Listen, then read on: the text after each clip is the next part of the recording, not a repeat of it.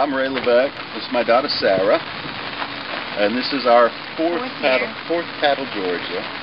We came on the first one in 2005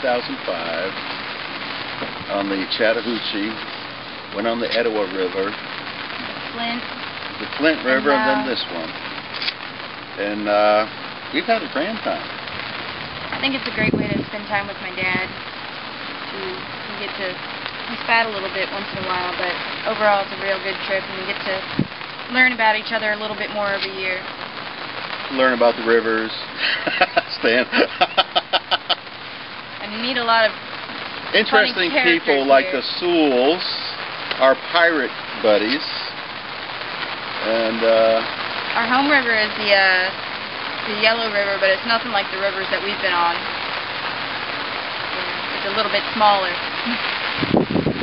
You got to mention the Georgia River Network. the Georgia River Network is a great group of people. The They people- really are. They're fantastic, like all of them. The They do a people here, wonderful they, job.